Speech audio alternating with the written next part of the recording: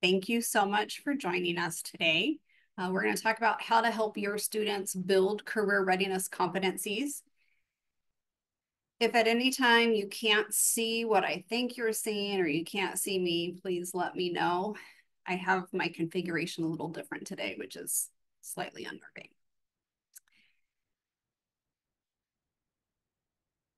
All right, so I thought I would start with some introductions. My name is Brianna Randall. I recognize a lot of the names in the chat, um, so good to see you. And for those of you who haven't been to a session um, hosted by me or somebody else in the Career and Internship Center, welcome. My name is Brianna. I serve as the Executive Director in the Career and Internship Center. We're the centralized center in Mary Gates Hall, serving the vast majority of undergrads and grad students on campus. Um, also with us today, we might have Wendy. She is our Career Technologies Manager. That's a new role as of April. So she's managing Handshake and a lot of the platforms, such as one of the ones I'll show you today. And one thing that will feature, um, be featured in today's session is the National Association of Colleges and Employers, NACE. And um, it's so part of our world that uh, I just kept saying NACE. I'm like, you might not know what it is. So it is our national association. It is career centers and colleges and companies and recruiters who hire new college talent. We come together to inform each other's work, talk about trends, that sort of thing. Um, and they do some benchmarking and some surveys. Right. We're going to cover the why, uh, why this topic why it's important. A brief history of our work along the career readiness competencies um, area. Then we'll dig into the current competencies. Uh, I have a slide of resources for students and a slide of resources for you. Then we'll dig into a new online inventory that your students can use to assess um, their level of career readiness competency. And then we'll talk about ideas for implementation. So our why is that a college degree is rarely sufficient in and of itself. Um, we're graduating a lot of college graduates and um, they need to be able to show that they have some skills, some competencies that employers are looking for, and generally that they have developed those through certain experiences. Also, I will say that employers typically don't rate students as skilled in these areas as students rate themselves that might not be surprising to you. And students really need to be intentional in cultivating and articulating these experiences and skills. So when somebody asks me, you know, what keeps you, what, you know, keeps you going, I have been here a while. Um, I really feel passionate about helping students develop the skills, experiences, and relationships to be successful after they graduate. So we've been doing work in the career readiness competency area for a bit. Our National Association NACE adopted a, their first list in 2017. It was um, a lot of research, a lot of discussions with employers, a lot of iterations. We liked them but didn't love them. So we launched our own slightly different version called Level Up, Build Skills Employers Want in 2019. Then we brought LinkedIn Learning to campus in 2020 to help students build those skills. And it worked out really well that it was during the pandemic when it was sometimes hard to find experience and other ways to build skills. We launched our, what was then called our Build Skills page in 2021. Then NACE uh, revised their competencies and started producing materials for universities to use, which is why current day we decided to sunset our level up initiative and adopt the NACE competencies as is. They are producing things that we can use that I don't have to produce on our own since we don't really have anybody uh, full time to do those sorts of things. So then we renamed our build skills page to build career readiness competencies. And we purchased the career readiness plus inventory, which I'll talk about. Uh, we've only had it on our website um, few weeks, actually. So what are the competencies? And I will say, again, the list of eight competencies have um, been much discussed by career center directors and employers, many iterations, and even one of the definitions has slightly tweaked between some of the different materials they produce. So um, career and self-development, I believe in the previous version, this might have been self-management or career management. Proactively really developing yourself, learning, being aware of your strengths and limitations, navigating opportunities, networking, those sorts of things. Communication, this has been on the list, one of the top few competencies uh, the entire time I worked in the center, which is 20 years, will not surprise you. Clearly and effectively exchanging, I, I mean, it's ideas and facts and perspectives with all different types of people. Critical thinking, again, this has never wavered. It's um, very important to employers. I think the idea of critical thinking, kind of like communication, is very big. Um, there's a lot that goes into it. Here's the definition that NACE puts out, identifying and responding to needs based on an understanding of situational context and logical analysis. I will say sometimes I think this is a challenge for a lot of us. Equity and inclusion, this is the definition that is slightly different in different versions uh, demonstrate the awareness, attitude, knowledge, and skills required to equitably engage and include people from different cultures, engage in anti-racist practices that actively challenge the system, structures, and policies of racism. So those are the first four. As a reminder, let's see if I can remember. Career and self-development, communication, critical thinking, and equity and inclusion. These are just in alphabetical order. Later, I'll show you, I believe, uh, level of importance to employers. And I might have to move a little bit as we have sun coming through my windows. I shouldn't complain. The sun is probably limited at this point in the season. Leadership, recognize and capitalize on personal and team strengths to achieve organizational goals. I will say this is one of the ones that I didn't love in the original version and I still don't love it. The reason is I think what students view as leadership and what employers view as leadership is different. Um, I think if a new college grad tries to go in and say, I'm a really great leader because I did these things, and therefore I should be able to have a leadership role in this organization that's going to fall really flat. I want them to showcase the things they, the skills that are part of being a leader. That's where I see a mismatch sometimes. Professionalism, and this word is pretty loaded. Uh, I was a little bit surprised to see that it was retained, but knowing work environments differ greatly, understand and demonstrate effective work habits, and act in the interest of the larger community and the workplace. I think it's understanding the context um, and not just acting in your own best interest in the work. And then the last two, teamwork and technology, build and maintain collaborative relationships to work effectively toward common goals. Also appreciating the diverse viewpoints within a team. And then technology, this is, this is the skill that uh, employers tend to rate students more competent in this area than the students rate themselves. Understand and leverage technologies ethically to enhance efficiencies and do things within the technology space this is pretty vague. And you know the words ai for example data science aren't included. And that's because probably the the volunteers on the nace committee do not want to revise these every time something is um, really new and innovative in the tech space. Um, so there you go. So those are the eight competencies. And then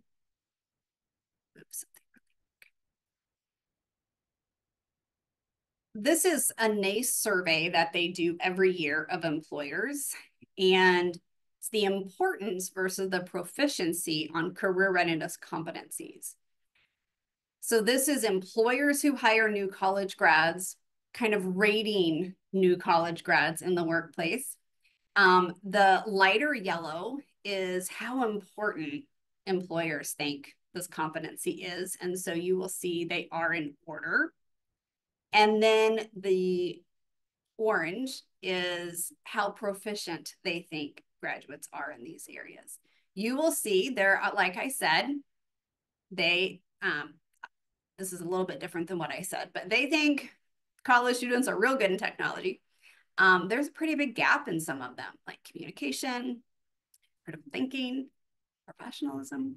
Um, so that's why we're we're really trying to um, bring this up, help students understand the importance of it, and help them figure out how they can further develop and articulate. It's not enough to have these skills. You have to be able to convince an employer that you have resumes, cover letters, career fairs, interviews, those sorts of things. All right, so that is the the basics and you can learn more in some of the resources I'll show you.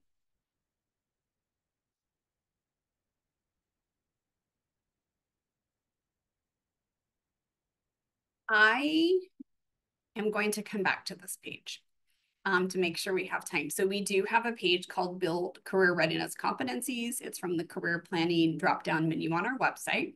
I'll send you the link. Um, it has definitions and sample behaviors. So in addition to just that little two sentence description of each one, it has bullet points of what are some, some behaviors that might indicate that you have this competency. Um, and the answer is yes, I will send the slides and the recording um, and all the resources. It's already drafted. Um, there's also, well, I take it back. Okay. Let me stop share and share my other monitor.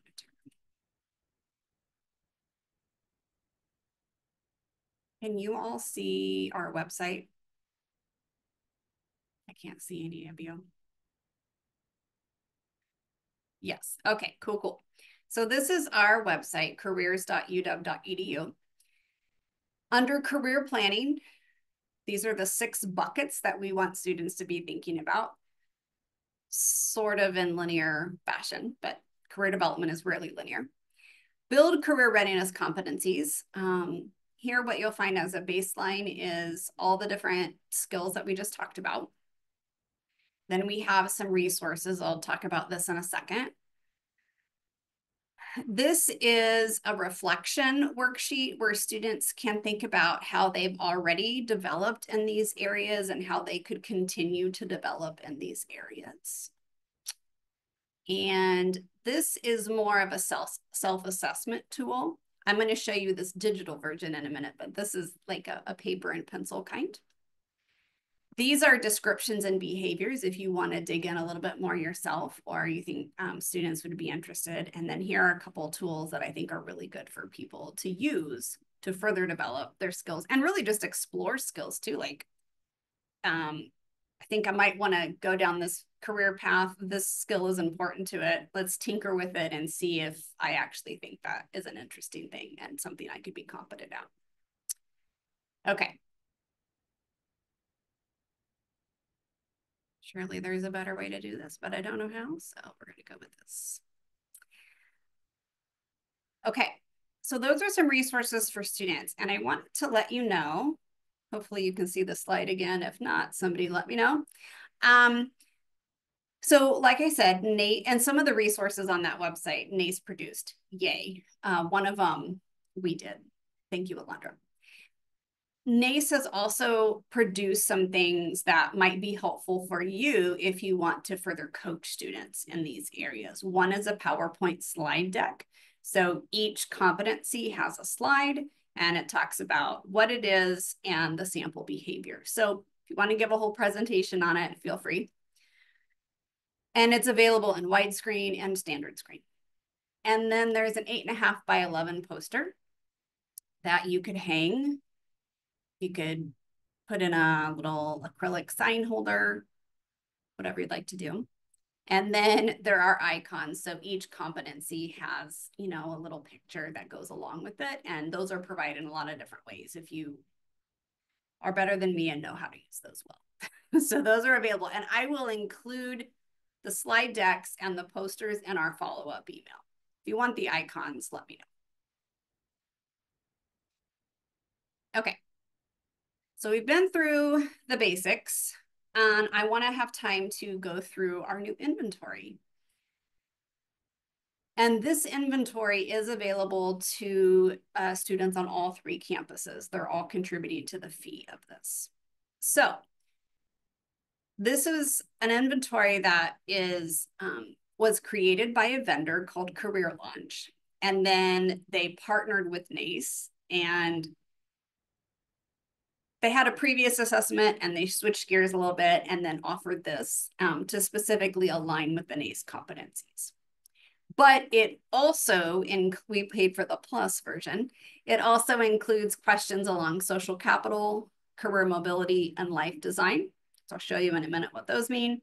There's three to five questions, might be even, I think there's one that has five, but most of them are three questions and it should take less than five minutes. I'll show you what it looks like in a second. So you'll know what your students are getting themselves into.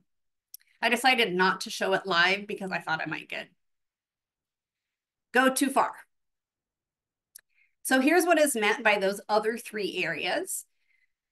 Social capital or relationship building, personal and professional connections, relationships and networks, and people's access to and ability to mobilize the human connections to further their potential and their goals. Okay. Life design, um, a lot of you may have heard about this. Um, it's been kind of a popular, I don't even know what to call it, um, out of Stanford for the past 10, 20 years. The mindsets and best practices for taking a design thinking approach to creating a career in life that is meaningful and fulfilling. Okay, so it's kind of continuing to reflect and refine and test things out for yourself.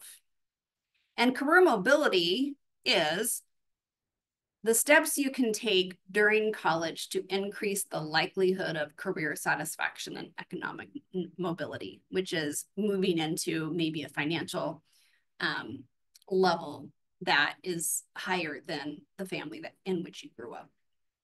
So previous research by Career Launch as a vendor had shown that these are important. And so we wanted to keep this on the assessment as well, or inventory. Okay, so here is an example of what you would find in the inventory. This is teamwork. This one has three questions. Um, it gives a little definition. If you click here, it will give you a little bit more information about what is meant by this. And you just select one of these. And they go from, I mean, this is not applicable, but I'm I consistently do this. I sometimes do this. I kind of understand how this is. And I'm like, I'm pretty, pretty new to, uh, to this concept. Okay, so they would progress through the eight competencies and the three other areas, social mobility, no, social capital, uh, career mobility, and life design mindsets. Um, they would answer these three, then go to the next page. It's really, it's really a slick platform. Okay, so their their results will pop up on the screen almost automatically which is really cool. And then they also are sent an email and we got to customize the email. This is what it looks like uh, for seattle students. Bothell and tacoma did their own. So they would click on this link. They would get their assessment results that they can download and they could show you. They could print whatever they might want to do. And then we do link to our page and to a couple of the resources that we think would be helpful for them Like I said, they're shown immediately and sent via email, and it uses a rating system from emerging knowledge, is kind of an order of those answer choices I showed you to advanced. And for each section, it provides ideas for further development of that competency area. Right now, those are all generic. They're not specific to UW. We might have, we have the possibility to customize the, the suggestions we wanted to get this launched before we had time to do that. So right now they're just sort of generic. So this is my, I just took the questions. Uh, I took the assessment and so I must have you know, answered a lot of things on the middle two. So it gives you one breakdown by skill level. So I had six of them in understanding and five of them in early application. It also gives you a comparison. So on the left-hand side is what employers deem as most important. So those are the areas in the order that I showed you earlier. And then how you rated yourself. So I could look at me like, okay, they really like communication and I'm middle of the road. I probably need to figure out how to improve those skills and how to articulate that I have those skills. Same with teamwork. Oh goodness, maybe I need to um, volunteer for some more team projects or, um, you know, be on a, a leadership team that's producing some kind of thing that we all work together as a team, those sorts of things. I will say I do like the language that's in the report that really talks about not taking assessments with a grain of salt, but it, it the language is very developmental and um, I have I have liked how they have approached talking about results with the students. Um, and so here's an example or two different examples of the report.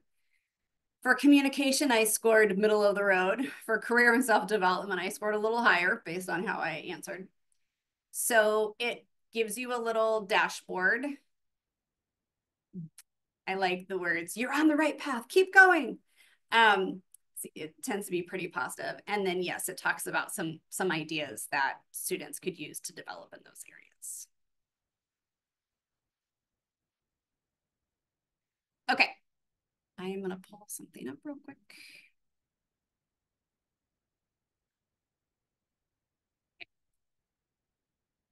So for you,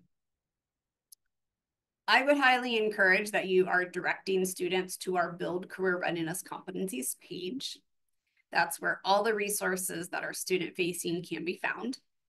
And this is the direct link to the Career Readiness Inventory. Um, it is linked. I'm hesitate. It is not linked to single sign-on. So they will use their e UW email address to get in, but um, and they'll select which campus they're on.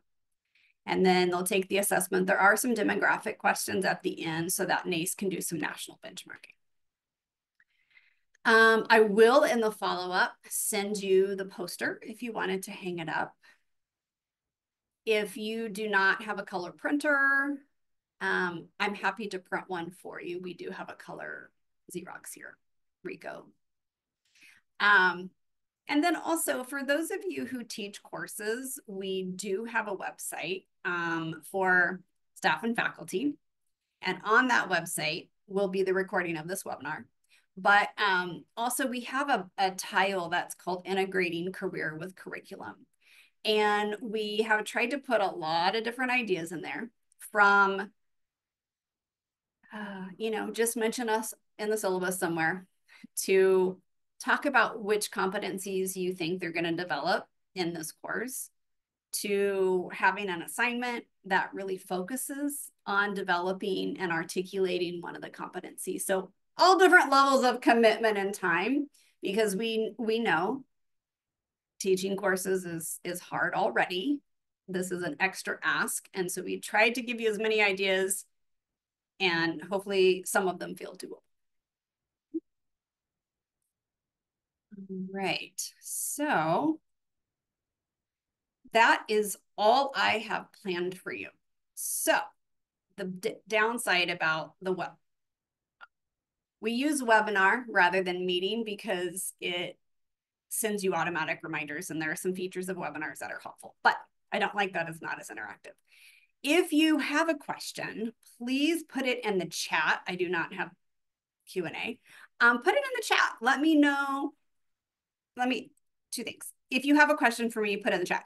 If you were successfully using Level Up and you want to suggest ideas to other people, like how have you integrated this into your department or with your students, with your class, feel free to type that in the chat too. Um, and I'm happy to take ideas. Also, I'll try to remember to include this in the follow-up email. If there is an additional resource that we could create or I could try to find from NACE that would make your job of stating and sharing these competencies easier, please let me know. We literally got one done yesterday. um, and one of them, you know, the inventory went up a few weeks ago. So we're we're not done with this work and we're happy to take ideas.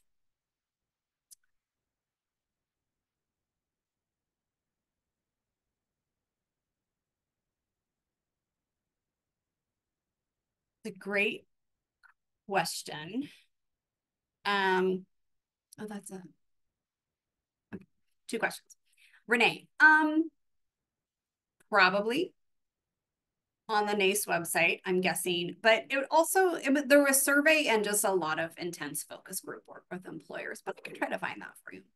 I will say NACE tends to be on the more corporate side than there are government and there are nonprofit members, but it's a little more businessy and it's national.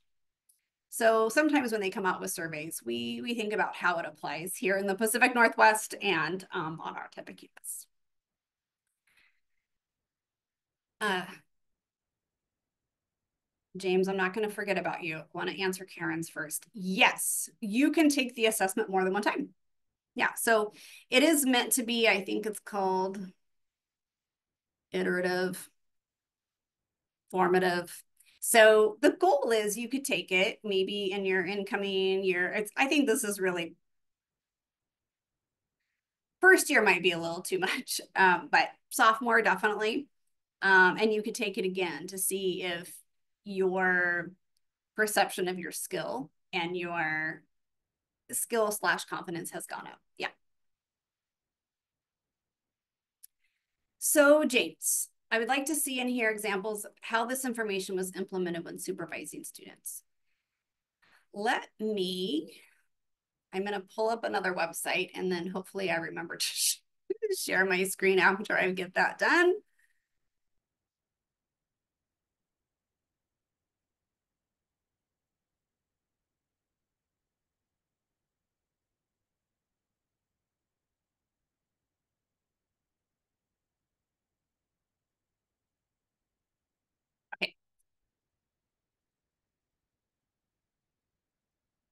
So I want to, I don't know how to switch screens, so I'll just start over. Okay, so we do have um, a couple of versions that you might be interested in on our website in a different part, and I'll try to remember to include that in the email. So we have a whole section of our website that is for employers, and that includes people on campus who supervise student employees, people who supervise interns. Um, Within that, we have a section on creating an internship. And within that, we have managing interns. And bless their heart, Eli on our team. We used to have an intern eval based on level up, and now we have one based on the NACE competencies.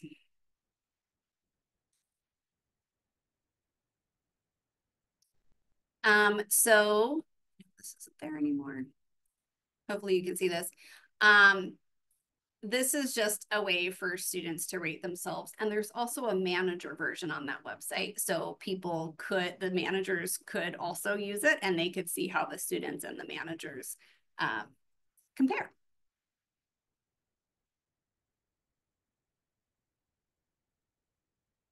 Okay, so would you say that employers are looking to more how students are able to talk about how classwork related to building communication skills rather than saying, for example, that they've done X number of presentations? Oh, that's a great question.